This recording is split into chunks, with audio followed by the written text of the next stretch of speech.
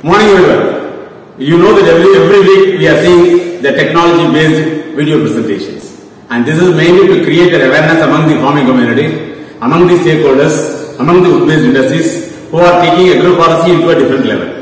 And our major man- mandate is mainly to create forestry outside the natural forests in the form of agroforestry or a farm forestry or maybe urban or recreation forestry. And that to this creation of these forestry will ensure security in raw material availability besides catering to the needs of the ecosystem and environmental stability. Under this concept, Tamil Nadu Agriculture University, the Forest College Research Institute, during the last one and a half decades, particularly right from 2004 onwards, we have been promoting agroforestry in organized sectors. You know that country, country's natural forest is closed for felling. And that is the direction from Government of India level, particularly all the wood-based industries who are deriving the raw material, they have to create a mechanism so that they will develop the raw material resources only from the agroforestry sector or from the forests created outside the natural forestry sector. So these are all the major systems which have been initiated by Forest College in the year 2004 and that was implemented, organized agroforestry has been implemented through what is called as a value chain model. The value chain is creating an intervention, creating an innovations in each and every stage of production to consumption system in agroforestry. When you take agroforestry, there is a production system, there is a processing system at industry level, and there is a consumption system both at the farming community and also at the industrial level. So, this is what we call it as a PCS level.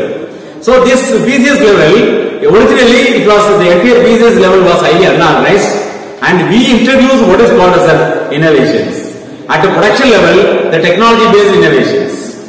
At processing level, again technology based innovations and interventions. At marketing level, the organizational interventions. So that is the reason the entire production to consumption system in agroforestry was innovated, was intervened through what is called as a technological innovations, organizational innovations and marketing innovations. So all these issues, Forest College and Research Institute has innovated a value chain system in agroforestry. The value chain model was introduced in the year 2008, implemented in the state of Tamil Nadu, and we have got a very good attraction from paper industry initially, TMP and Sheshai Paper Group. Then it was attracted by match industries, and we have implemented elaborately across state of Tamil Nadu during the right from 2008 up to 2014. Then after that, to sustain these activities, particularly from the production to consumption system, to sustain these activities and to encourage more of public-private partnership mode of the system development, so we created, we conceived what is called as a consortium of industrial agroforestry. For initially we have taken only the beneficiaries from the value chain project. Now this, this, is, this has been extended to almost all stakeholders involved either from production system or from processing system or from consumption system. The purpose of the objective of consortium is very very clear. One is create a linkages among the stakeholders. Wherever possible, those who are involved in agroforestry sector, we create a linkages, a mechanism.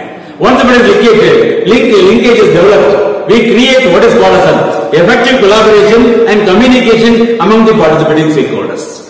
We collaborate, simultaneously we communicate so that the best possible uh, methodology can be innovated, that can be translated. That is what the major, second major objective. Third important objective is very clear, to systematically do R&D. It is not a short-term it is a short-term to long-term crop. We need a continuous funding. So how to do it? Can we create a mechanism so that all the wood-based industries can fund on the system so that R&D is a continuous process. So all these things are, we have taken a very big leap. And lastly, we maybe what is called as a, once it is a, the technology is developed, this technology go to all the people. For which effective awareness, wherever possible, technology-based promotion has been taken a mandatory system. And not only for agroforestry alone, even if we are taking for the forestry promotion outside the agroforestry system also, in the form of urban forestry, recreation forestry, so that the trees outside forestry can take, can be taken into a very different level. Technology-based tree promotion from the outside forestry sector. And lastly, we are also, based on the discussion, consultation with all the consortium members, we also identify what are the problems and concerns faced with the farmers, faced with the industries, how these can be resolved, how these can be resolved. And all- you identify all the stakeholders, what are the problems faced with the stakeholders, list of the problem. And the problem identification happens every year during the consortium meetings. Once we identify the problem, then we resolve the problem through technology, R&D, research and development mechanism, for which all industries are supporting on it. Farmers are supporting on it, and uh, almost all stakeholders are supporting on it. You can also see some of the video clippings, how the consortium meetings are conducted, how the consortium farmers are taken into a different level. All these things we can see in the subsequent video and subsequent presentation as well.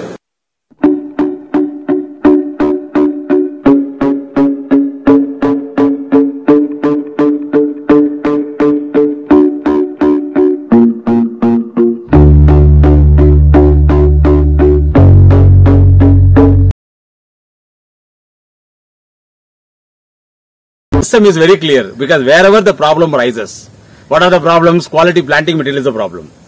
Plantation development because there won't be any, there, may not be skilled helpers, skilled workers. Can we facilitate through plantation development team to establish plantations? Third important thing is felling, very systematic. We have a consortium nurseries.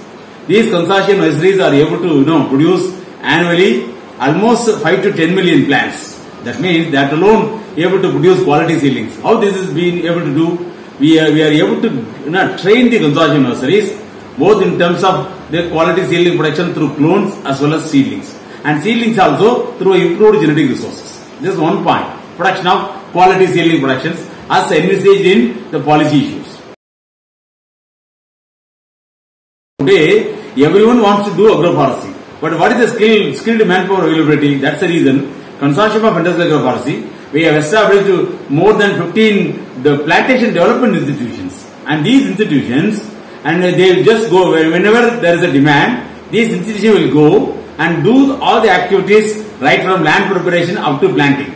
And this is done both mechanically and manually also.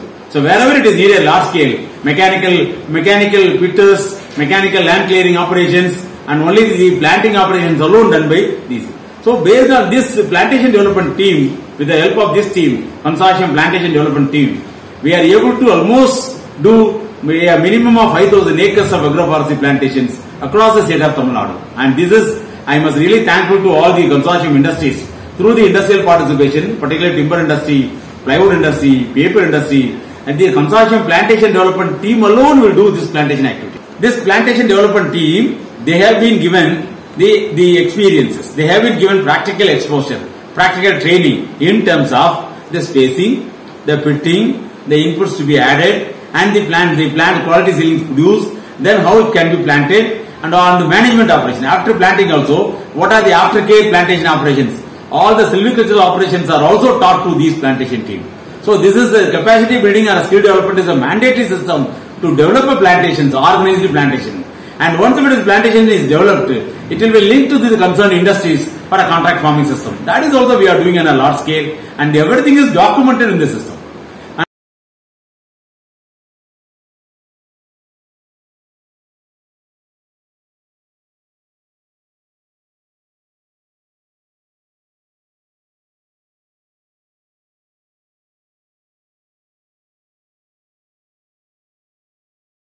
And third important thing is felling institution. We have we have established in nearly 12 different felling institutions wherein more than 250 workers are there. Uh, for all these workers, skill development is you know, you know given. How they have been asked, they have been trained in terms of using power chainsaws, using tree pruners, using conversion machines, even using in situ chipping, debarking. Almost these are all the felling institutions. They facilitate felling operations. So annually, the consortium felling institution they are able to you know well more than 1.25 lakh tons of wood, and that that harvested material is supplied to the timber industry, pulp industry, paper industry, plywood industry, and other energy industries as well. So why I am saying this, not only we do the the system of you know promoting capacity building, but we also implement the whole project of agroforestry in association with all consortium industries that made us to introduce what is called as a different contract farming system like timber contract farming, plywood contract farming, pulpwood contract farming, matchwood, energy contract. For all these contract farming activities, what is needed is quality seedlings for which consortium nurseries are able to do the facilities. Plantation development, consortium plantation development team, they are able to facilitate plantation development operations. And that starts with the land preparation up to planting and post-planting operations also. And last category is felling institution. They are also doing wonderful job. So in a holistic approach, I think the consortium is doing almost all the activities right from production to consumption system, which cater to the needs of farmers and other stakeholders involved in the entire value chain process.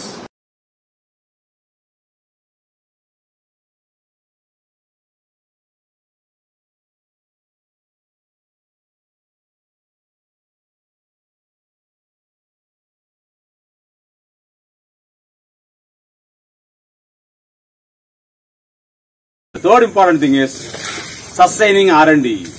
It is not a three years based or five years based. Can we sustain R&D? Because you know that trees need to be evaluated for a minimum of six years and maximum of 20 years depending on the crop variety, depending on the tree variety. We work with the timber species, pulpwood species, plywood species, energy, therapeutic, therapeutic for therapeutic trees, medicinal trees, recreation trees, urban trees, pollution, pollution tolerant trees, like that wide range of tree species all these uh, objective based trees, screening trees demand continuous research and development mechanism for which Forest College and Research Institute has created an exclusively consortium mode R&D farm. Consortium mode R&D nursery, R&D clone bank, R&D gen- genetic resources, the consortium based, based industrial sponsored R&D projects. As I said earlier, we develop a varieties species for uh, timber genetic resources screening timber genetic resources. Next slide you can see how the timber genetic resources and what are the improvement made in latest timber species.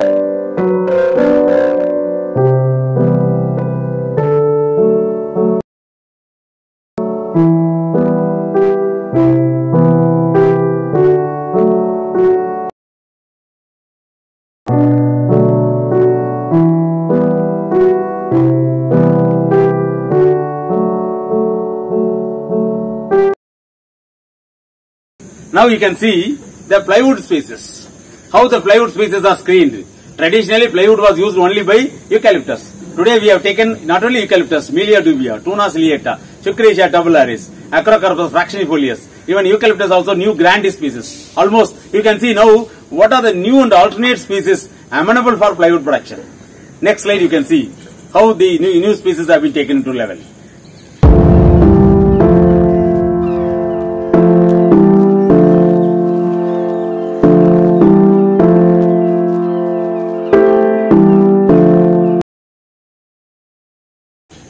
Now pulpwood species.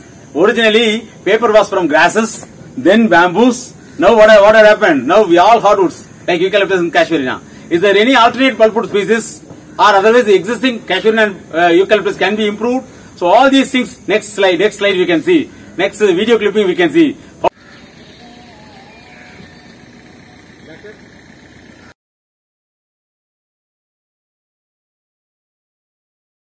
Biofuel. We can see the biofuel uh, species, how they are utilized. And all these things are continuous R&D for which Consortium of Industrial Agroforestry, I must really thank all the consortium industries for facilitating R&D mechanism that made us to develop a variety and the variety is going to the farmer's field and through which we are creating the agriculture productivity in a larger way. Simultaneously, we are creating raw material resources to create self-reliance and raw material security besides catering to the needs of climate change mitigation through carbon sequestration process.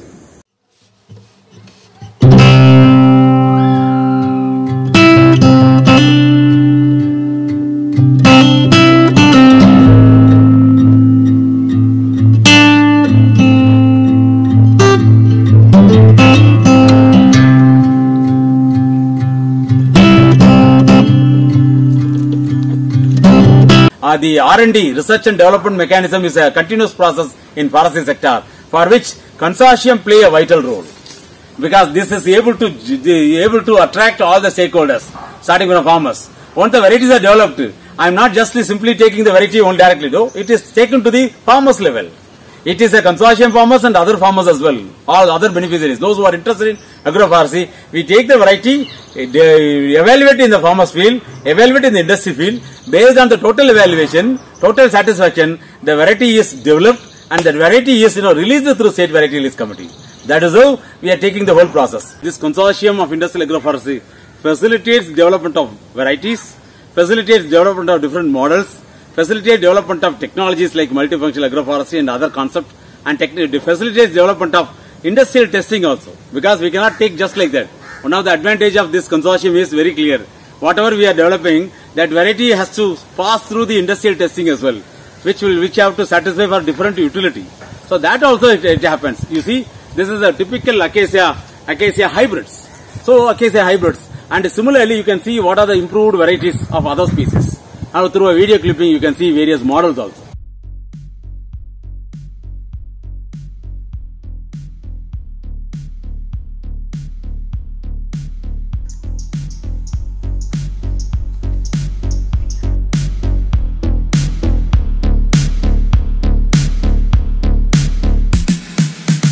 we develop, we test all the wood varieties and based on the superiority in terms of quality and in terms of productivity, this will go for amplified clonal test through a uh, organized test. Maybe in the both in the farmer's field and also in the industrial sited areas. So once if it is satisfied all the growth and development, it will go as a variety for release through the organized structure of the government agencies. So all these things are very systematically done. So these are the systems which really we matters. We look for a physical quality, chemical quality, anatomical quality and mechanical quality. Similarly, when you take the Melia dubia and all, it will go both as a timber and also as a plywood. And simultaneously anything less than 12 inches, it will go to paper industries. Like that we develop a variety for each and every specific utility. So now next video clipping you can see how the trees are harvested, how the trees are tested for a various wood quality purpose.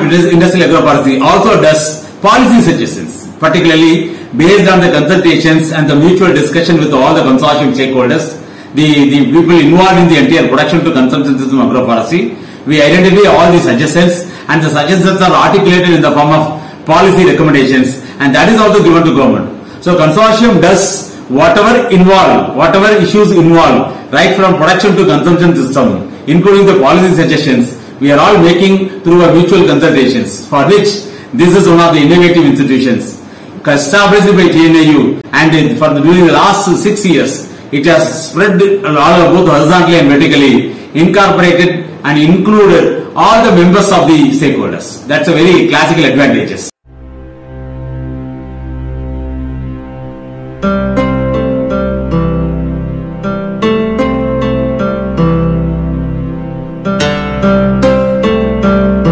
If we take the members, starting from farmers up to consuming industries and those who are involved intermittently in all the systems, they are all involved. And we annually meet. We arrive at uh, the, the last one year, what are the suggestions, what are the issues raised by all stakeholders, and what are the suggestive measures to resolve the issues. The su- suggestive measures we resolve in the form of technological intervention through a continued R&D.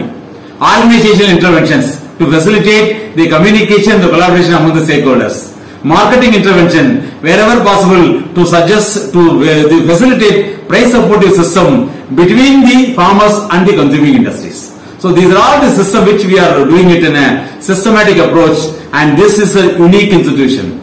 This unique institution has been established at Forest College Institute in Mettupalayam. Currently addresses the needs of entire state of Tamil Nadu. Slowly we are, you know, extending this tentacle across the country as well. Currently, the consortium members included members from more than 10 different states distributed across India. So that's a very classical example how the model has been taken into a different level. So I my request to all the all the listeners of this YouTube this video uh, based uh, presentation is wherever possible create linkages.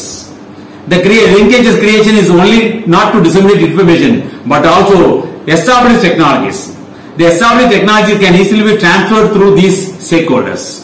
And wherever possible, link the industries, the consuming uh, in- industries, consuming in institutions. And wherever possible, financial institution can also be leveraged so that what the issues involved in the entire production to consumption system can be resolved through technological intervention, can be resolved through a consortium approach through organization intervention, can be resolved for a marketing through a price supporting system, can be resolved through financial institution by leveraging the financial help also through these systems, for which the institution established at Forest College Research Institute at Mettupalayam is one of the unique model and this will really help to promote agroforestry not only in the state of Tamil Nadu but also across the country as well.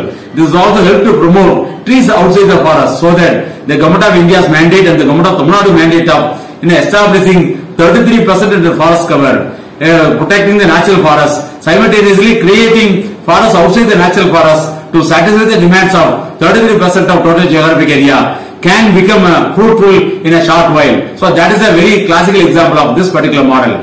And definitely, I, we are throwing this presentation, we are giving this presentation for only one reason, for easy understanding, for easy adoption and for easy replication so that the trees outside forest can easily be established so that we can increase the forest cover and green cover. Ultimately, this will ensure productivity, this will ensure profitability to the farmers. This will ensure the growing climate change associated risk and uncertainties can easily be eliminated through agroforestry based adaptation strategy and mitigation strategy. Above all, the carbon sequestration potential of agroforestry is going to be very very augmented system. Definitely this, this agroforestry model, particularly the institution based agroforestry promotion is going to be very important message to all the stakeholders who are listening through this uh, video video presentation. This is a model which we can replicate. Thank you everyone for a patient here.